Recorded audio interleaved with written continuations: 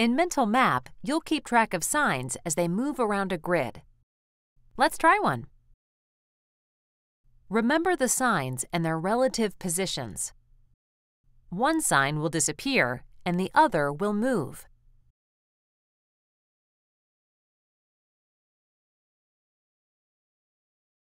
Drag the sign to the grid.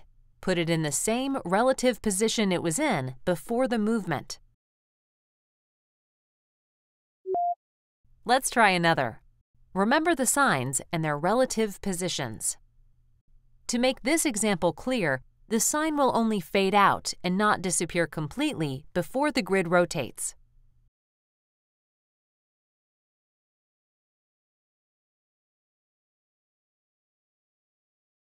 Drag the sign back to the grid. Put it in the same relative position it was in before the grid rotated. Let's try another. This time, the signs will move and the grid will rotate.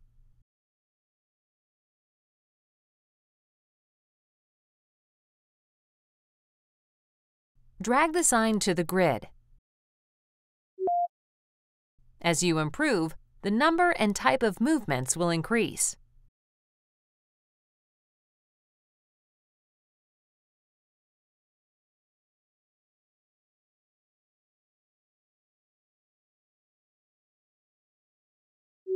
In later levels, you will need to remember the orientation of the signs as well.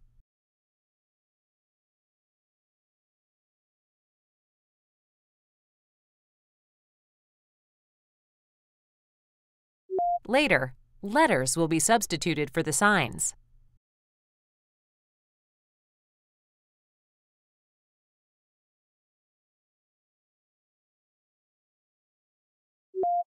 We hope you enjoy Mental Map. Happy brain training!